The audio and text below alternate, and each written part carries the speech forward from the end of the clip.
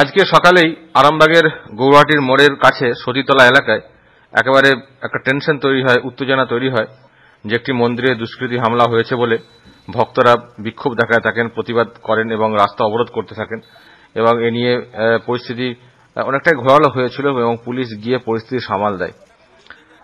পরে দেখা যায় যে সিসিটিভি ফুটেজ, সেই ফুটেজে দেখা যায় যে একজন এই কাণ্ডটা করেছে।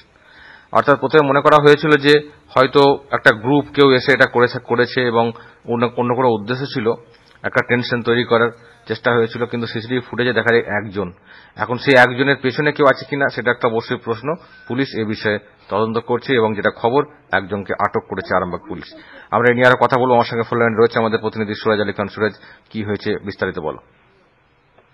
দেখো, আজ সকাল বা গৌরহাটি মোড়ের মোড় এবং সতীতলার মাঝখানে যে বজরংবলী মন্দির, অর্থাৎ হনুমান মন্দির তৈরি হয়েছে, নতুনই তৈরি হয়েছে এই মন্দির এবং এই মন্দির তৈরি হওয়ার পর থেকে বিভিন্ন অনুষ্ঠান প্রায় প্রতিদিনই দেখা যায় এবং যেটা আজকে ঘটনা হলো যে আজ সকালবেলা ভক্তরা যখন আসেন তখন দেখেন যে তাদের যে মন্দিরের যে ঠাকুরের গলায় জড়ানো যে মালা এবং আরও কিছু পূজা সামগ্রী ছিল, সেইগুলো সব ড্রেনের মধ্যে একটি ফেলে দেওয়া হয়েছে এবং পিছনে যে কাপড় জড়ানো থাকে গাছের মধ্যে, সেই কাপড়ে আগুন ধরিয়ে দেওয়া হয়েছে, বেশ কিছুটা পুড়ে গেছে এবং এই নিয়েই কিন্তু একটা উত্তেজনা তৈরি হয় বলা যেতে পারে। ভক্তরা আস্তে আস্তে ভিড় করতে থাকে যে এই ধরনের হামলা বা এই ধরনের ঘটনা কেন ঘটনা হলো, সেই নিয়ে তারা প্রতিবাদ শুরু করেন। কিন্তু বিষয়টা তারপরেই পরিষ্কার হয় যে ওই মন্দির চত্বরে বা মন্দিরের জন্যই বেশ কয়েকটি সিসিটিভি ক্যামেরা লাগানো রয়েছে, প্রায় চারটি ক্যামেরা লাগানো রয়েছে, একদম মন্দিরের যে ঠাকুর রয়েছে বজরং বলি তার সামনেও একটি সিসিটিভি ক্যামেরা লাগানো রয়েছে। সেক্ষেত্রে কিন্তু সমস্যা সমাধান বলা যেতে পারে অনেকটাই তারা কিন্তু সুরাহা পাওয়া যায় যে কে- বিষয়টা কি? এবং সেখানে সিসিটিভি ফুটেজ ক্ষতি দেখা যায় যে একটা কুড়ি নাগাদ একটি বাইক আছে বাইকটি বেশ কিছুটা দূরে দাঁড়ায় এবং সেই বাইক থেকে একজন নেমে আসে।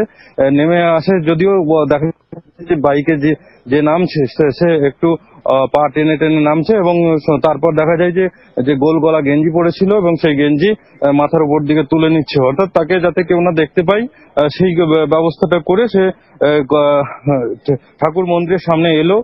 আসার পরে সে জুতো খুললো। জুতো খুলে দু মিনিটের মতো সে ঠাকুরকে প্রণাম করল।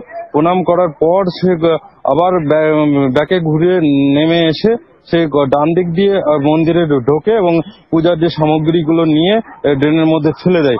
তারপরে আবার সেই সেখান থেকে পিছন দিকে চলে যায়, যদিও সিসিটিভি ফুটেজে দেখা যায়নি আগুন লাগানোর বিষয়টি। এবং সকালে সেটাই দেখা গেছে, যেহেতু পিছন দিকে গিয়েছিল, সেখানে দেখা যাচ্ছে যে সিসিটিভি সেখানে দেখা গেল যে আগুন কাপড়ে লাগানো হয়েছে। এবং এটা কি উদ্দেশ্যে করা হয়েছে, সেই নিয়ে কিন্তু সকাল থেকে তৎপর এবং ভক্তরা তারা কিন্তু সকালেই সকলে জড়ো হয়ে ওই এলাকার মানুষ সহ আরও অনেক মানুষ জড়ো হয়ে তারা পথ অবরোধ শুরু করেন এবং দাবি তাদের যে, এই যে ঘটনা, ঘটানোর পিছনে কারা রয়েছে বা কে রয়েছে সেই নিয়েই কিন্তু সঙ্গে সঙ্গে তারা থানায় যান এবং থানা থেকে দু ভ্যান পুলিশ আরামবাগ থানার আইসি পার্থ সাদিত্যি হালদার, যদিও তিনি ছুটিতে আছেন এবং বিষয়টা এসডিপিওর কানে যায়। এসডিপিও তিনি পুলিশ পাঠান এবং সে সঙ্গে সঙ্গে সেখানে অবরোধ চলতে থাকে, স্লোগান চলতে থাকে। এই ধরনের কেন ঘটনা ঘটানো হয়েছে? এই নিয়ে একটা উত্তেজনা বাড়ে বলা যেতে পারে এবং তারা এক ঘণ্টার মতো সময় বলেন যে এক ঘণ্টার মধ্যে দুষ্কৃতীদের গ্রেপ্তার করতে হবে, না হলে বড়সড় আন্দোলন, অর্থাৎ গৌরহাটি মোড়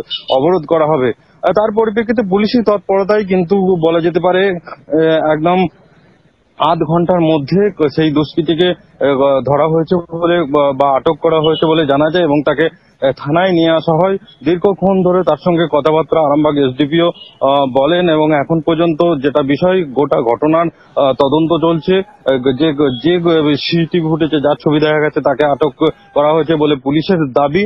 এবং এখন দেখার বিষয় যে গোটা ঘটনার বিষয়ে কি বিষয় সামনে উঠে আসে এখনও, কিন্তু যেহেতু পুলিশের তদন্ত রয়েছে বিষয়টা এবং এই বিষয়টা হলো একটা ধর্মীয় ইস্যু সেখানে কিন্তু অনেকটা পুলিশ বিষয়টা কিন্তু খুব সেন্সিটিভ ভাবে দেখছে এবং এর বিরুদ্ধে কড়া ব্যবস্থা নেওয়ার কথা ভাবছে।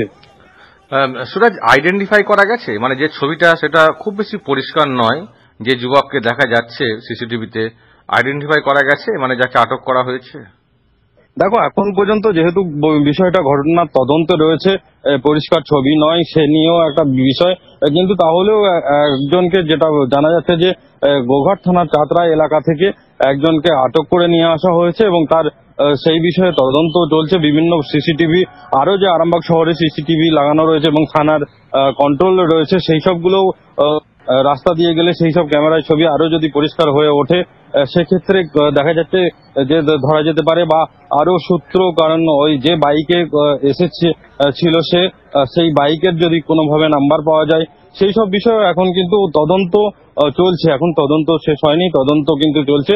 সেক্ষেত্রে তদন্তর বিষয়ে আরও কিছু আমরা যদি পুলিশের কাছ থেকে জানতে পারি, অবশ্যই দর্শকদের জানাব। ওকে, তুমি নজর রাখো, তবে আরামবাগ টিভি সবসময় একটা জিনিস বলে থাকে যে ঘটনা যেটা হচ্ছে তার তদন্ত হবে, তদন্ত অনুযায়ী ব্যবস্থা নেওয়া হবে, কিন্তু অহেতুক যেন কোনো অশান্তি তৈরি না হয়। খুব সেন্সিটিভ ইস্যু আরামবাগ শহরকে শান্তিপূর্ণভাবে রাখতে হবে এবং অবশ্যই দোষীদের বিরুদ্ধে ব্যবস্থা নিতে হবে। সেটা আইন মোতাবেক হোক, সেটা আমরা সবসময় চাইব, কিন্তু আরামবাগের পরিবেশ শান্ত থাক। এটা কিন্তু আরামবাগ টিভির আবেদন। ঘটনার যারা এই ধরনের ঘটনা ঘটেছে, অত্যন্ত নক্করজনক একটা ঘটনা। কোথাও যে একটা ইন্ধন কাজ করছে সেটা কিন্তু বলতে দ্বিধা নেই। কিন্তু সেই ইন্ধনে পড়ে যদি কোনো বড় অশান্তি তৈরি হয়, তাহলে কিন্তু অনেক নিরীহ মানুষের ক্ষতি হয়ে যায়। এই ধরনের পরিবেশ যেন কখনো তৈরি না হোক আরামবাগে, এটা সবসময় চাইবে আরামবাগ টিভি।